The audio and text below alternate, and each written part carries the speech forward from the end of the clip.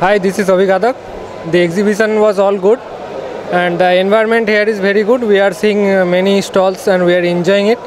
And we request the government to do such initiative. It's like we are seeing many types of eggs, the importance of eggs. There are different types of eggs.